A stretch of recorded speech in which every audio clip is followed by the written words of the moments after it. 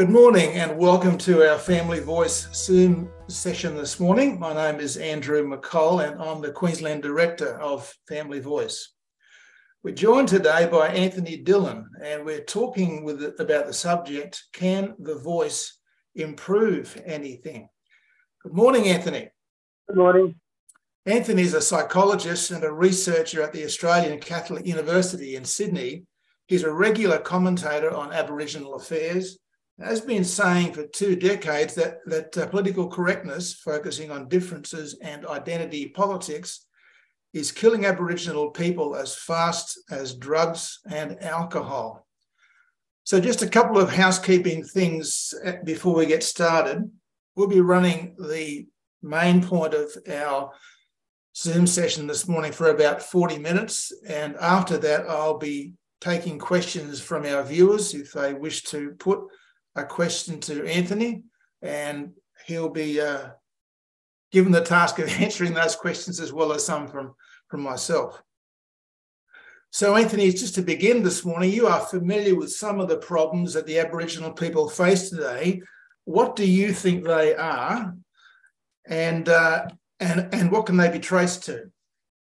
Um, the problems apply to a subset of Indigenous people um, what what portion that is, I don't know. You know, fifty percent, forty. I, I expect less than half of Indigenous people who haven't um, don't know how to function effectively in 20, you know, 21st century modern day Australia, and it you know because they they've lacked role models themselves, they've been stuck in bad environments, so it's got nothing to do with intelligence or motivation they are very much a, a product of their environment.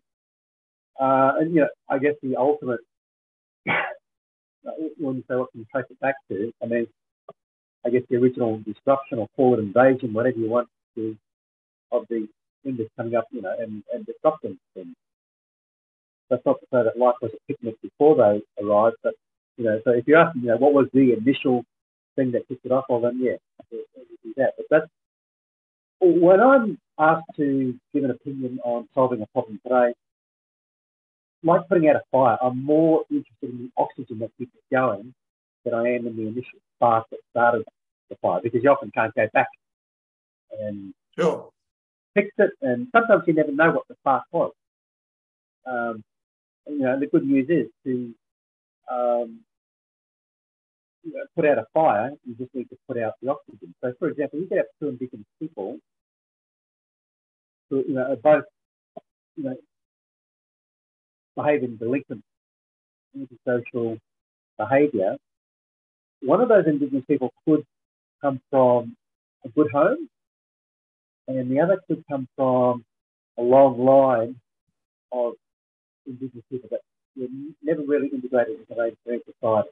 Okay? So, different, you know, two different causes, yet the fire's the same, and I see putting out the fire for both pretty much the same process. Does that make sense, that analogy?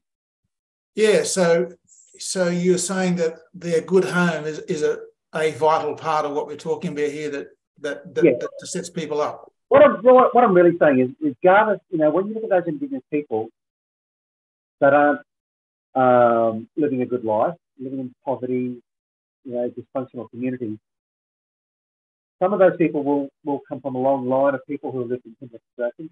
Some may have just may have come from a good family, um, and you know, through a series of bad choices, bad luck, ended up in the same sort of situation.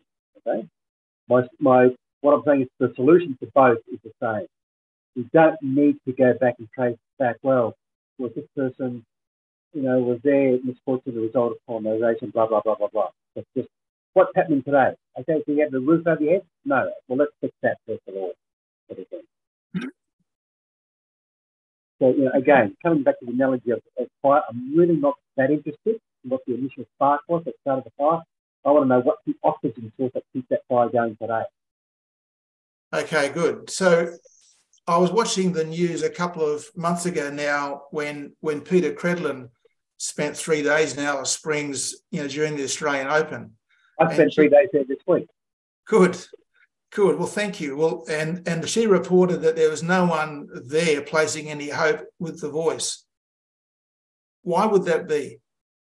Um, because similar to me, I guess, I really don't know what it is and how it's going to help. Now, it's possible, but unlikely. It's possible. It could be a really good thing, but if it was a really good thing, I would have expected someone to explain it. And I, you know, we, have had certainly many people try and tell it to us, you know, from the top, Albanese, uh, Linda Burney, Langton, all those. And I haven't seen a compelling, okay, so I think they're similar to me. They just want, just tell us in a nutshell, how, how's this going to help? No, nobody's been able to do it. Um, well, okay, I can recall going back back to the era of Paul Keating and Bob Hawke, and it being plainly evident that there was there were millions of dollars being spent on Aborigines. Yet it seemed to be the same old problems were still being emphasised, the same old the same old solutions. We're just we'll just kind of throw more money at the problem and hope it goes away. So was that your kind of analysis as well? Well, yes, a lot of money is um, being thrown at them, and and you know, yes, I think that the criticism of a lot of it gets chewed up in bureaucracy and right and that sort of thing. Um, but also, I think some of that money is uh, chewed up in wanting to promote a feel good Indigenous culture. Yeah, and so, yeah, those millions that we hear about, you know, a portion of that goes to cross cultural training in workplaces and you know, all those sorts of things. It's just. Um, a lot of it goes towards um, symbolic stuff, which I'm not necessarily against, but if you have to prioritize things, I would spend those millions not on um, symbolic things, but you know, accommodation, cleaning up the, uh, the sunshine community, that sort of thing. Um, again, I just want to emphasise, you know, I'm not, I'm not against, because non-Indigenous people have money gets spent on symbolic things for them as well. Okay? Um, so I'm not opposed to that, but I'm just saying we need to spend it on the basics. So it's a bit, you know, a bit like Maslow's hierarchy. Let's start with safe environments, clean environments, access to good food, protection from the elements. Yeah, yeah. And then we can spend money on flags and museums and getting different public holidays and that sort of thing. So your work as a, a psychologist, Anthony, means that you're dealing with people who have personal challenges. Yeah. And, and um, they, may, they may well have attitudes and habits of thinking that need to change. And we would, know, we call that kind of mindsets, don't we? Now, is that at least one of the things that that the Aboriginal people are facing today, mindsets that just won't work for them? Uh, yes, but uh, you know, for those at the extreme end, again, they're in, in poor environments where they're surrounded by, you know, people who are not good role models and that sort of thing. Um, so even if you even if you put them out of those environments, it would still take a little while to, a better expression, to train them um, you know, educate them on the idea of, you know, the relation between germs and health. Right. Um, that sort of thing. Uh, and for some of them, there's a generation today, you know, we talk about a stolen generation, etc. There's a lost generation today. You know, again, how many's in there? Hundreds, thousands, I don't know, who, of adults who, who aren't games. it's very unlikely they'll be job ready in their lifetime. You know, right. They've been out of mainstream, you know, they haven't functioned in mainstream for so long. You know, the, the concept of, you know, jobs and that sort of thing, and, you know, not entirely their fault. So what we should be focused, you know, we should be looking after them as best we can, but make sure their children, their descendants, have access to all the sorts of things that Aussie need to function adequately in 21st century modern Australia. So regardless of how dysfunctional, how unskilled the parents are, we've got to make sure that their children have access to schools, learn about health, and they learn all the skills they need in order to function in modern day Australia. Right. So that would that will be helped in things like traineeships and apprenticeships. Yep. Um, access to schools, good schools, and I saw a good school when I was in Alice Springs. So, um, you know, for young Aboriginal people, who, who hopefully the force of that school and that environment will kind of outweigh or overtake any bad influences they see back in the home in their community. Okay. So, so I've I've worked as a teacher in in in in school, obviously in schools, and in schools where there's money being spent, not a problem. It, you know that's not the problem with schools so much. It, it's it's what's what's being taught and and the the peer group that children are exposed to day in day out. I mean, children go to school 30 or 35 hours a week, but they're they they go home or, or they go back to their family over the weekend. And what what I have seen as a teacher is that the home is so influential on a child, isn't it? Yeah. And sometimes it's a toxic environment. So yes, um, you know that's what I'm saying. You, you just got to hope that the lessons they learn at school will counter outweigh bad lessons they, they learn through osmosis, osmosis, modelling in that in their community. So, so thinking about these sorts of issues of of education, finding jobs, the training of people, role models, etc. Do you think government departments can deal with these issues successfully? Well, well in, in, theory, I guess. Um, I mean, there's, there's, plenty of good Indigenous role models already. Uh, there were great role models at the school that I was at earlier this week. Um, and so, you know, government can provide opportunities, um, but at the end of the day, individuals need to make a choice. And I'm not going to pretend that choice is easy. Again, if you come from a home where you don't see adults work and um, you don't see good hygiene and health practices and that sort of thing, um, it, you know, it, it, can be hard. It can be hard. So, yeah. you know, what I'm saying is we shouldn't be quick to condemn those Indigenous people who don't make it and just say, well, you know, you had a choice, blah, blah, blah. You know, there's a lot of factors. You know, it is a bit of a tug of war. Yeah. And, and you know, even in, um, we know that in non-Indigenous societies, kids can go to a good school and still kind of gravitate towards the bad crowd sometimes. You know, that peer pressure, you know. So, um, you know, it's a, I, I guess ultimately it's a bit like the, um, that American Indian story about the, the grandfather who's speaking with his grandson. He tells him that, you know, he's got two wolves inside of it. One wolf is about kindness, loving, caring, working. The other wolf is about anger, ego, selfishness, and they're fighting each other. The grandson says to the grandfather, which wolf wins? He said, the one you see. So, you know, each individual needs to listen to that voice. Um, take opportunities, uh, take advantage of the opportunities given to them, be prepared to say no sometimes when the bad crowd are pulling them away. Right.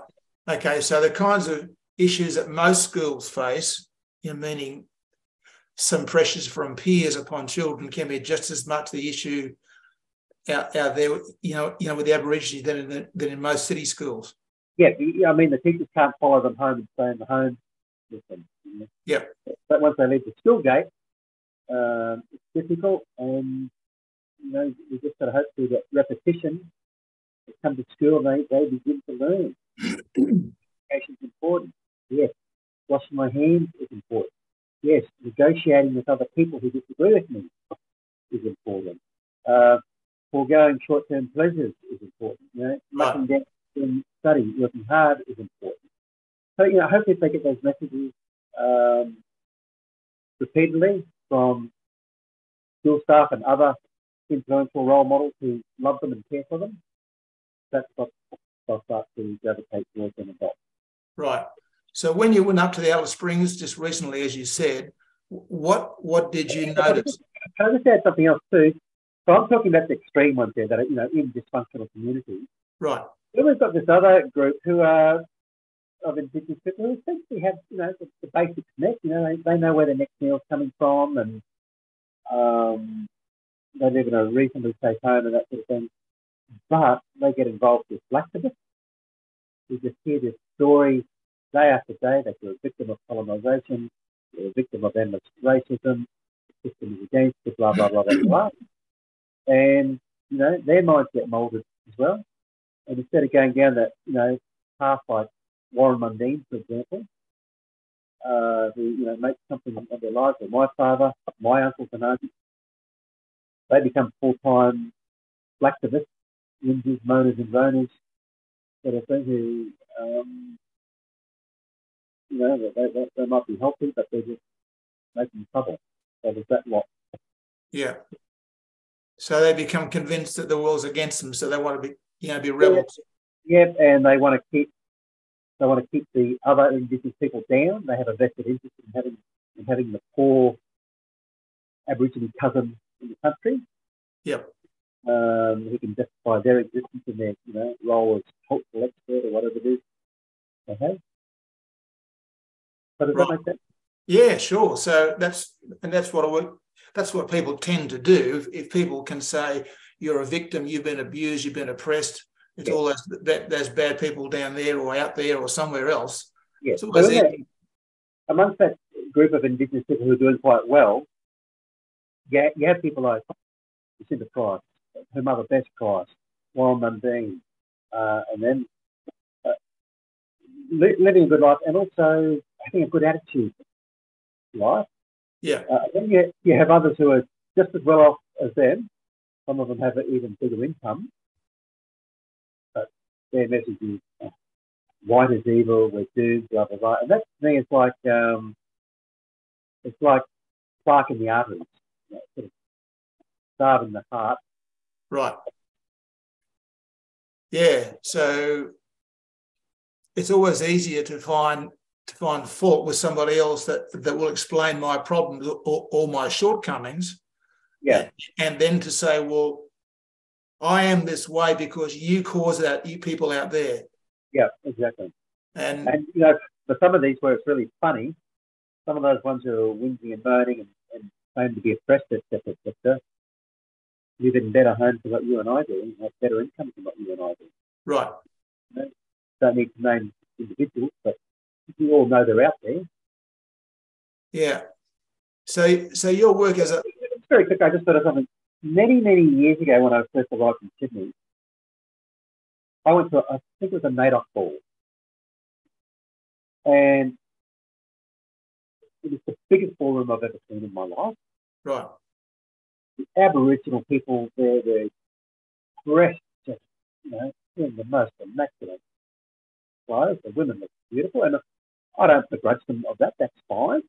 Um, but you know, a lot of those people, not all of them, but a lot of those people would have been the ones who are, you know, condemning white Australia as being the cause of problems facing Aboriginal people. And so again, I have nothing against successful Aboriginal person who, you know, if they want to, you know, wear the most expensive clothes, good on them.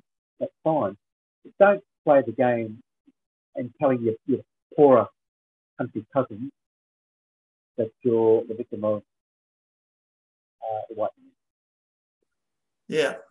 So, so just taking your experience working with people as a psychologist, uh, like like you've been dealing with with individuals face to face, one at a time. You're dealing with people in the grassroots who've got personal problems and you want to be able to say to this person look you the reason you've got these problems that you're not going to work and you don't think anything of yourself is that you've got some you've been harboring some false ideas about your capacities or your background or your family it's time for you to change these and start to kind of jettison those ideas yeah I, yeah I, I unpack that a lot but that's basically the, the concentrated message but I'd, I'd unpack it and sort of you know, build up relationships first and find out what's working, what's good, and system some ideas and you know, maybe try this. Um, yeah. So, so with people whose whose behaviours hasn't been very good, hasn't been mature, hasn't been long term, you, have got to work towards changing those attitudes or approaches so well, that future. Or their, their behaviour might be good, but their mood could be low because of um, yeah, a lot of factors. Yeah, yeah. And, and so that that kind of puts the, the question in, in your in your mind and in mine will the voice be able to do anything for people in those circumstances? Yeah yeah and you know uh, so far i haven't seen any compelling evidence that it that it will.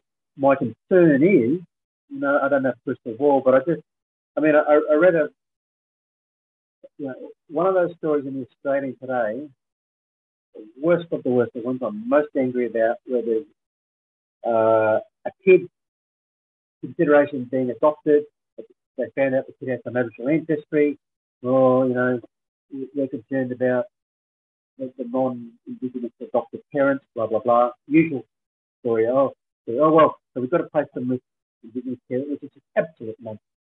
Absolute nonsense. My concern is, and, you know, at, currently it's my understanding that, you know, the policies, the rules are um, effort attempts should be made place, you know, an Indigenous kid with an Indigenous carer. I, I think, I'm not 100% sure, but I, you know, I think it's quite possible if you get the voice coming coming in, uh, scenarios like that, we will see that it's absolutely mandated. Right. That an Indigenous kid only ever be placed with an Indigenous carer. And again, I have no problem with that Indigenous carer is competent, caring, compassionate, etc., etc. But if it, if it was up to me to make the rules, I would have a list of criteria um, for adoptive and foster parents, and colour and culture wouldn't be in the top eight. You know, it might sneak in at number nine or ten, but I'd have other things first. You know, top four or five would be mandatory. Uh, you know, I see a colour and culture as well, down on the list, yeah, that's fine. If all these other boxes are ticked, you know, that's what's more important. Right. Does that make sense what I'm saying? Well, it does. It, it does because what what you're doing is you're saying you're saying that the the colour doesn't matter so much as to ensure that the care of the child is actually competent to do so. I just have a concern, you know, I can't prove it, but I just have a concern that the voice, you know, if they make suggestions to whoever it is, Parliament or executive or whatever, they'll be pushing, well, Aboriginal kids got to be with Aboriginal that sort of thing. Um, I'm concerned that the voice may focus on issues such as changing the names of suburbs because we found out that this suburb was named after a person who committed this atrocious sin 200 years ago, or, you know, or whatever. They're, they're the sorts of things which, you know, are way down on my list of what needs fixing. Um, and so that's the concern I have. So, you know, it comes down to will the voice, will they throw their weight behind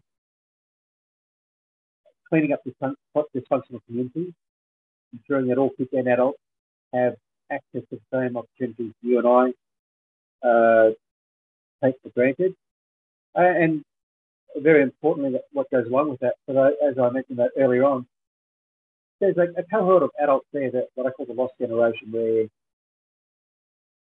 know it's very unlikely that they're going to be stepping into a job anytime soon. Uh, will they be taken care of? You know, we need to care for them. But with the younger generation, we need to more than just care. We need to be putting on them on a path different directions to the, path that parents. Right. So, looking back over the last couple of generations, would you say that that Australia's welfare system has has really helped the Aboriginals, or or possibly hindered them?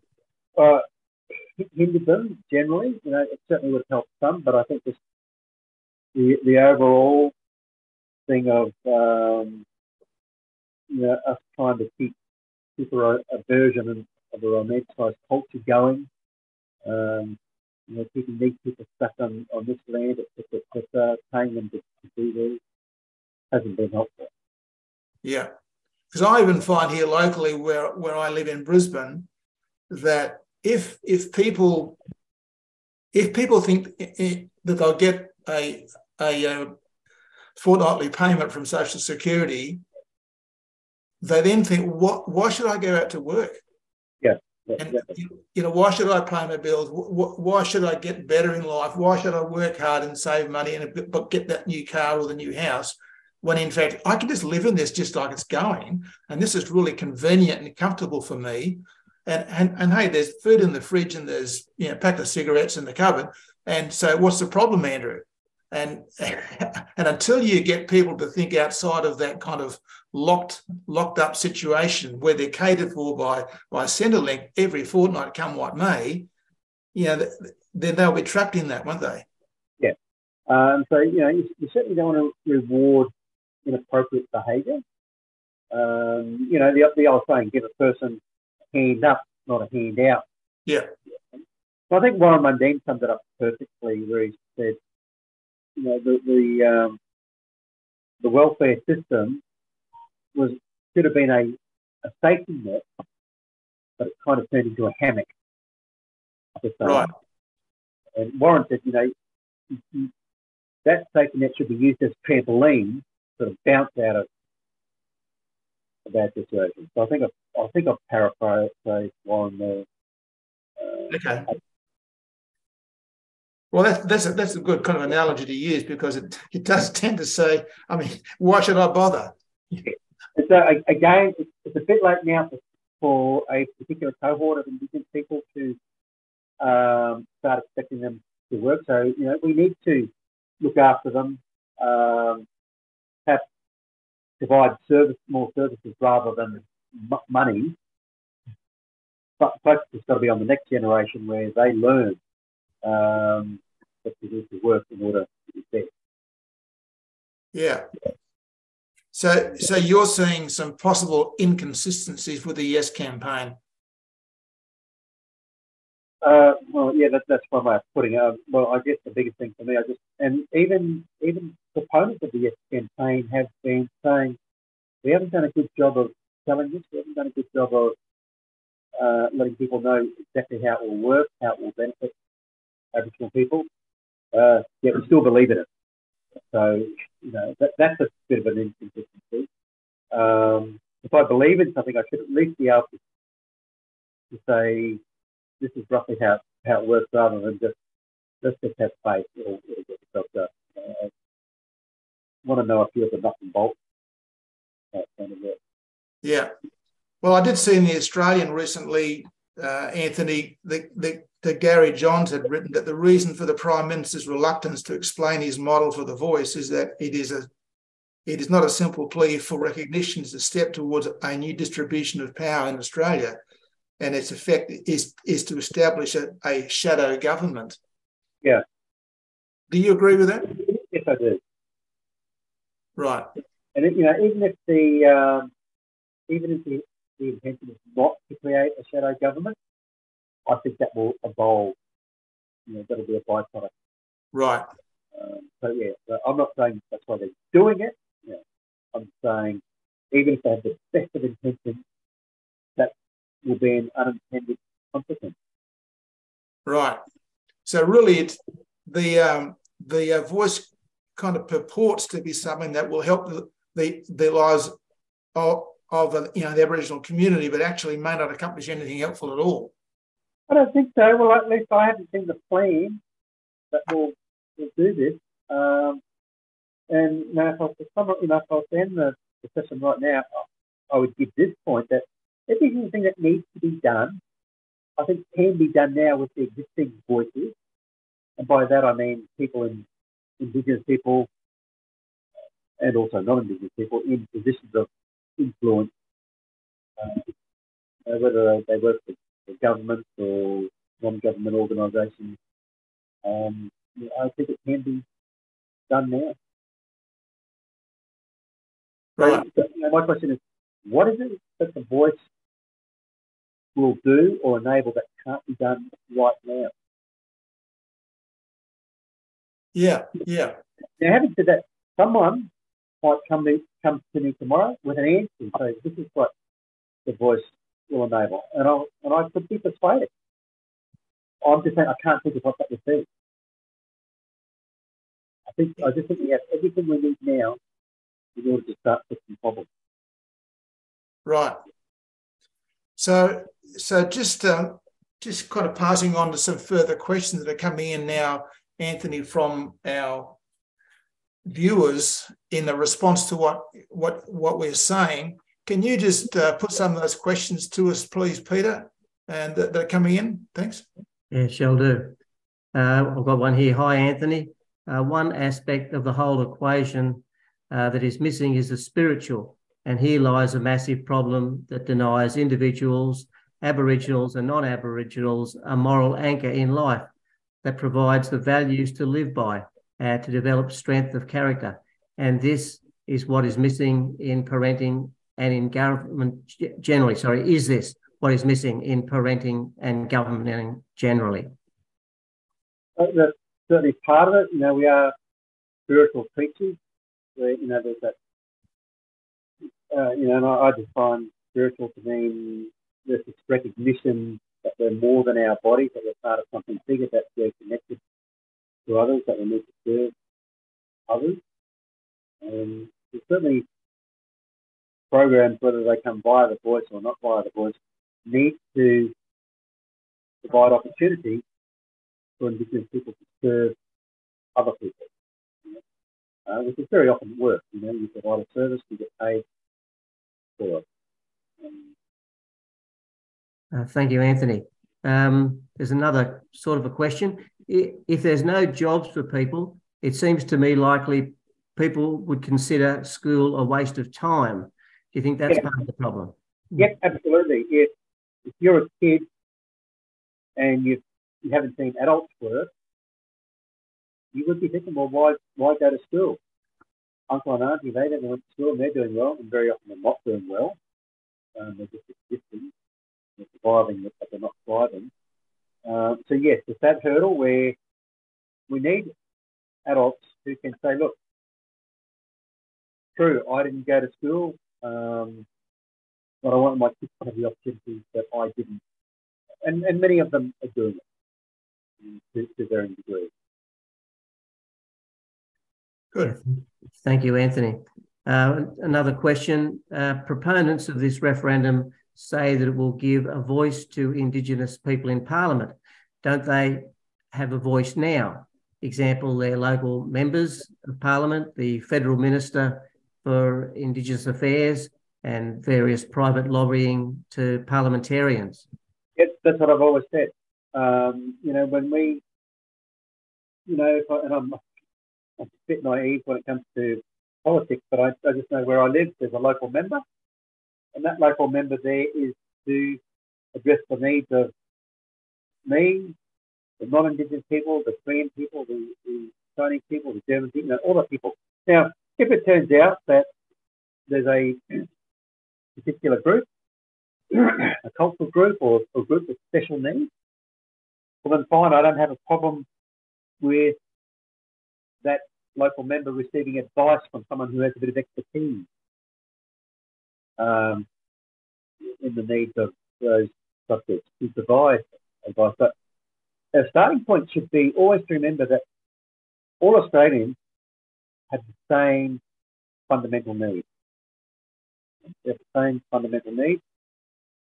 Um, and then, you know, once you address those needs, well, that, you know, that's the starting point. And, you know, if, if language is a barrier or cultural practices are a barrier, fine, put some, in, inputs there, but the, the foundation should be let's address the fundamental needs, which are, you know, safe living places, the opportunity to do good or serve others, which, you know, is often work, uh, the need to learn, stimulate the, the mind, that sort of thing. Thank you, Anthony. And another question I have here is I've been told uh, that uh, will be implementing the Uluru Statement from the Heart and that all religious and Aboriginal leaders are in support of it. They imply that I am both non Christian and a racist for opposing it. Uh, what are your thoughts on that? Well, first of all, not, not every Indigenous leader supports it. Um, and you know, generally, we have had this argument that's been subtle or not so subtle that if you don't support, you know, whether you call it the voice or the Uluru statement, if you are somehow opposing Indigenous people. Um, and that's not true. And you know, even more subtle, you know, when you hear some leaders say, um, you know, I know Australians will do the right thing. You know, there's a subtle message there saying that if you don't vote, you're doing the wrong thing. You're the wrong person.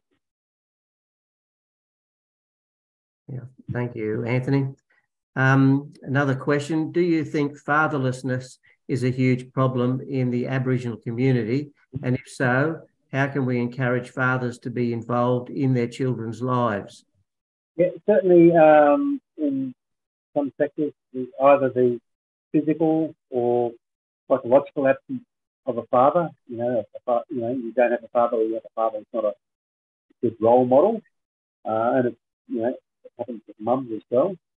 Um, so, how, how, how can we encourage dads to stick around and be good dads? I think again, while it's easy to see that as a problem and it causes other problems, it also is the effect of underlying causes.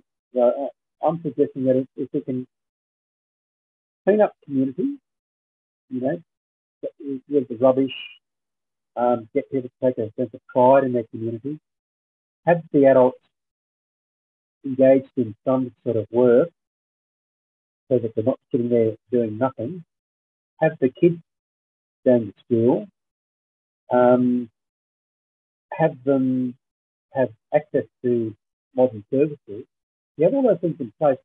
A lot of these things like father, you know, absent fathers and that will be corrected. Crime will be corrected. Suicide will be corrected. Um, so if you know, the basics met, safe, clean environment, connecting with other people, serving other people, a lot of those problems will just evaporate. Yeah, thank you, thank you, Anthony. Um, what I'm saying. You get a group of people, whether they be black, white, yellow, whatever, put them in a physical location where they don't have access to modern services, where they're not they're not working or they're not engaged in serving other people, and they lack uh, knowledge, you know, basic knowledge about how health works, how the world works, yeah, you're going to have problems. You know, people are going to turn to violence, drugs, alcohol, that sort of thing, regardless of what color you are. But, you know, but the, the rules are the same. The fundamental needs are the same. We need safe environment. We need people. Yeah, very true. Thank you. Now, this next one is a bit of a statement, sort of in favour of the voice. So I'll get your comment on this, Anthony. Uh, surely it's better for the Aboriginal people to be given a voice than to miss this unique opportunity to bring some empowerment and self determination. And surely it's time we had some faith in God and believe He is still in control. So we'll ensure the outcome is positive for your people, particularly if the people of Australia are more educated about the true nature and value of Aboriginal people and their right as the sovereign guardians of this nation. Anthony, your comment on that? just two things very quickly. As we just said in the previous question, they already have voices. They can write to the local MP, the representatives, uh, that sort of thing. So, you know, how is it that I don't have a voice? I do have a voice. I can write a letter to the editor of the paper. I can knock my MP's door, that sort thing. And then self-determination, let me spend a minute talking about this one. That Self-determination can be either defined as something that applies to the individual or at the group level. I believe it, it applies to the individual or better when it, applies to the individual. And by that I mean, if I had self-determination, I make a decision, I'm going to go to the gym, I'm going to eat healthy, etc., etc. Okay? Those things that I decide as an individual. Unfortunately, when it comes to Aboriginal people, self-determination has been defined collectively as a group, where it means Aboriginal people accessing services from Aboriginal service providers. And I just think that's dumb. Again, I don't have a problem if that service, if that Aboriginal service provider is competent, is good at what they do, that's great. Um, but to insist on only Aboriginal people to take care of the needs of Aboriginal people, and that self-determination is wrong. Yeah. Does that make sense? Yeah, it does make sense. Typically, typically, when they are saying self-determination for Aboriginal people, they really mean skepticism. Mm. Right. Yeah, thank you, Anthony. We hear these cliches, uh, Aboriginal health in Aboriginal hands, you know, which basically means the Aboriginal person should only get health services from Aboriginal providers. Again, if that provider provides a quality service, great. Uh, and, you know, there's a few of them out there. But the individual should have a choice. They want to walk into the Aboriginal service, great. They want to walk into the non-Aboriginal service, right. The, the self-determination happens when the individual says, I'm going to go to a health service. I'm going to go to the gym. I don't care what colour the owners of the gym are. I'm going to go to the gym. Does that make sense? Yeah, it does. That, and that's the sort of, um, it has always been my main point for 25 going on 30 years. Yeah, thank you, Anthony. Uh, another uh, question here. Governments have spent billions of dollars trying to close the gap, but have failed to do so. Do you support a royal commission to identify where the spending has gone and why it has failed to help Aboriginal people? Oh, good question. I mean, I, I guess in theory I do, but will this be something else that'll clog up the system? How much will it cost? Um, you know, I can suggest some ideas of why the gap's not closing. Um, we need to focus resources and funds on the, the poorer end of town. So, you know, if this is all the Indigenous people, uh, we need to invest in those who are poorest, okay, not those who are. And I've always said we need to close the internal gap. That is the gap between, you know, the, those Indigenous people who don't know where the next meal is coming from, compared to people like myself, you know, who know where the next meal is coming from. That's the gap that needs closing. Okay, I'd like to see those Indigenous people in the poorer end of town have the same opportunities I have, have the same opportunities that the opponents of the voice have. So we need to work with them. So you don't close the gap by giving more to those who already have. Does that make sense? But, Yeah. you know, for example, if I wanted to, if I wanted to increase the income, the net income of your family, you can define family, you know, however way you want, your brothers and sisters, and that family, whatever. One way I could increase the income of the richest, of the highest earner in your family, and that would lift the average. Yes? But wouldn't a better thing to do to lift the income of the poorest or the lowest earner in your family? Hmm. So you're still lifting the average, but you're giving it to those who need it most.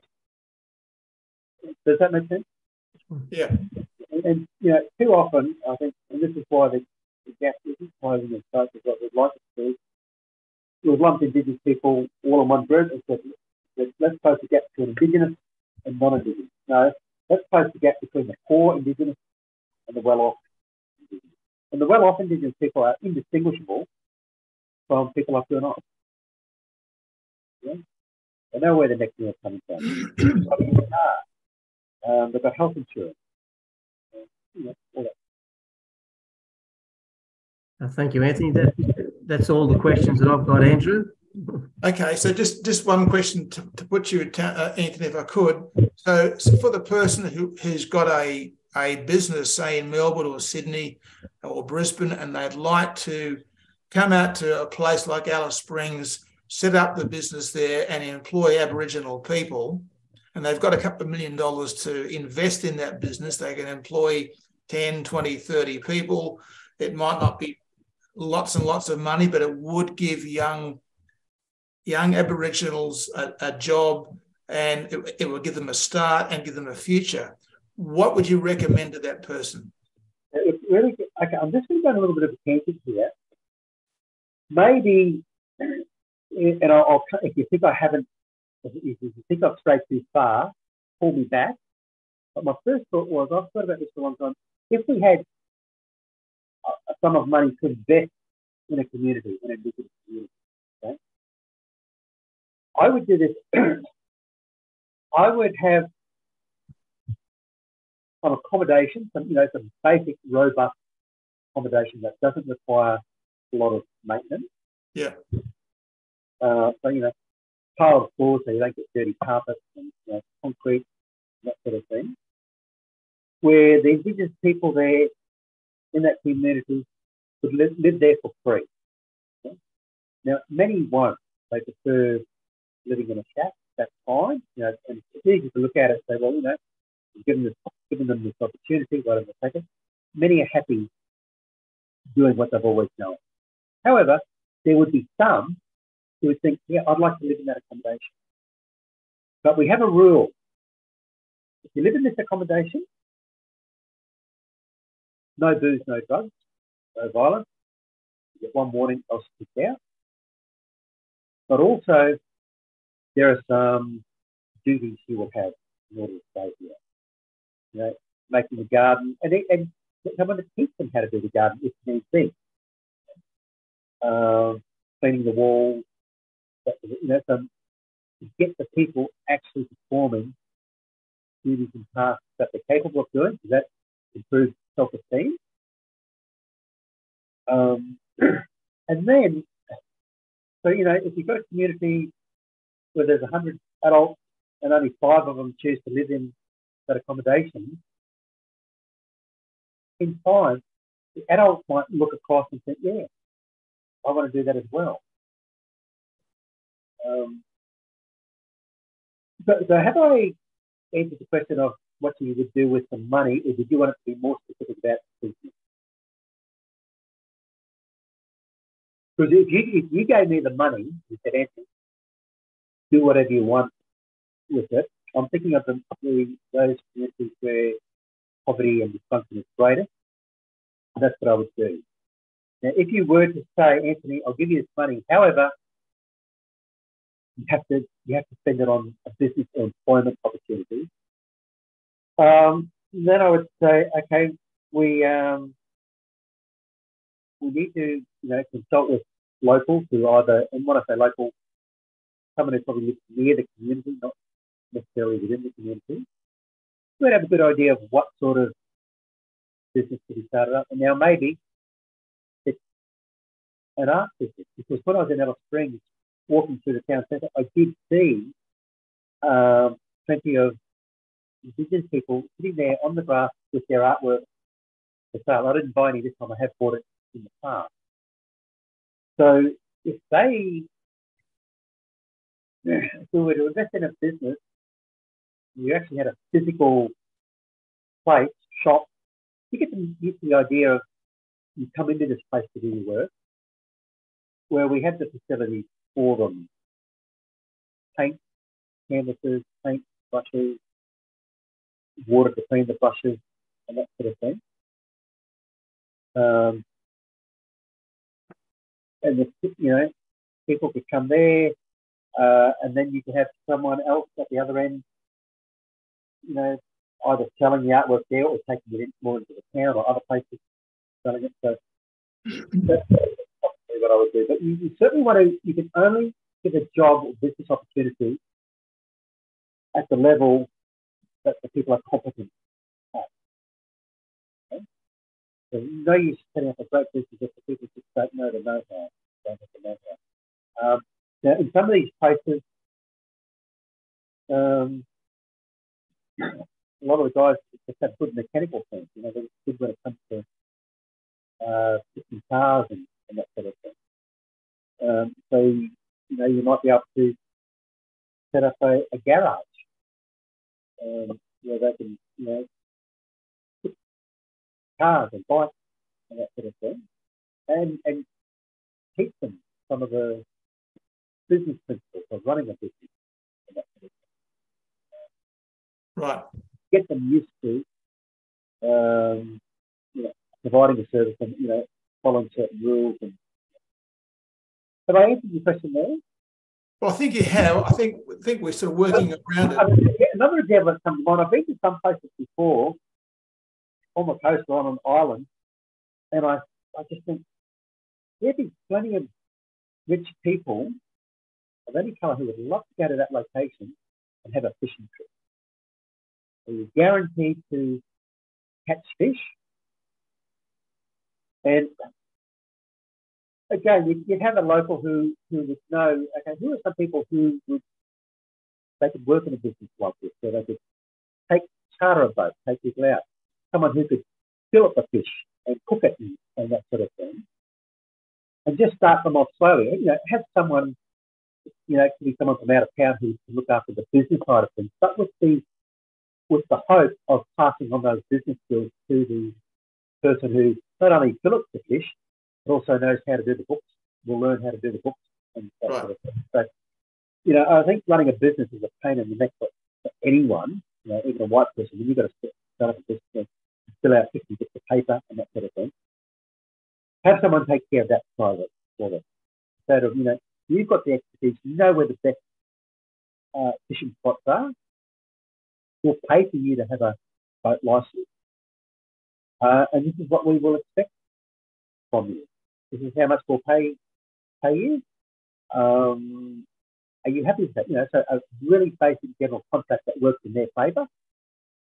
Um, and so, you know, that, that was the feel I got that, gosh, I would come here and gladly have someone take me to where the fish are biting. And, you know, they, they could supply the, the fishing tackle and that sort of thing. Catch the fish, you bring it back, they fill it up for you, they cook it up for, or, or whatever.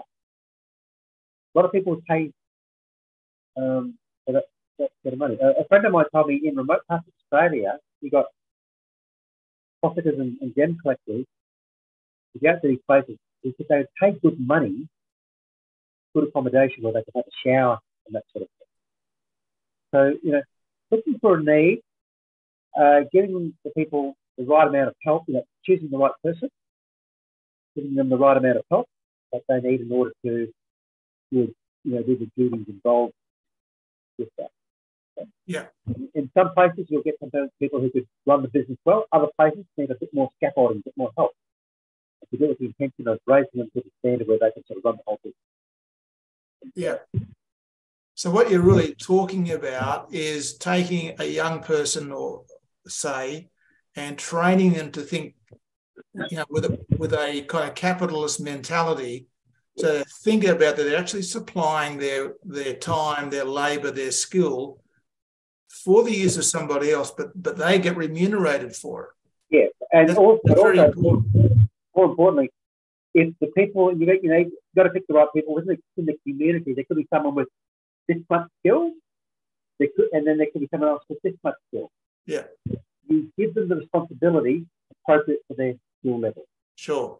With the intention of building up their skill level. And you know, I, I know just as a city person where I'm having to do more and more uh, business for myself, where I'm just learning about the bits of paper that I got to fill out. I'm learning about you know the, the, rules. Um, fortunately, I'm in a position where I can learn these things slow enough. I've got enough income from elsewhere that um, I can pay the bills. You know, people do need to. I need to be taught more about this. I'm sort of learning myself at a kind of pace, and you know, I wish I had a mentor, and there's, there's probably out there who could stretch me a little bit each day learn something new. Yeah. Right. You know, so I, I bring certain skills, um, and then the, the business it. So in these communities, you've got people with certain skills, Uh, yeah, another opportunity I saw, I was in one community where um, all the kids had bikes. All.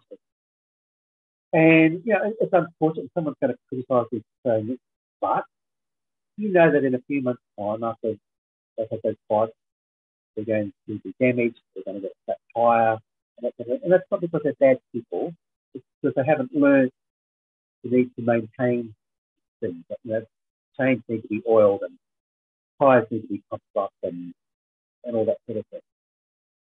Those sort of things, again, capitalising on the mechanical sense of these people, if you get people in the adults in this in, in these communities, okay, we're setting up a bike shop. Um, who would like to, to you know, do the, the repair first? Um, and you could even teach the people in the community. You could have bike maintenance classes. Learn how to look after your bike yourself. And when it does get busted and you can't fix it yourself, so you can bring it to the bike repair shop and they'll fix it for you. But again, there's no use getting that person who, you know, senses of blunted, you know, maybe maybe they've been done from alcohol, they haven't seen good role models. There's no use getting them saying, look, we're giving you a job and they start working. You, you need to pick those people who are ready. And hopefully those who aren't ready will see that and I think, oh, I think I could do that. I think I could help out. Okay, good job. You just got to polish the bell on the box. You do that? Yes. Okay. You've done that. Beautiful. And then we elevate to the next. So, you know, going at people's pace, stretching them a little bit, but also recognizing that within, within that community, there are some people that are, you know, so lost that it's, it's really hard for them to get involved in. Great. Well, thank you, Anthony, for taking the time with us today on our subject Can the Voice Improve Anything? I think we've all learned something about the issues that, that we're facing here, and we thank you for your contribution to the, the debate today. Okay, I hope that helps. Thanks, Anthony. All the best. Thank you. Okay. Bye.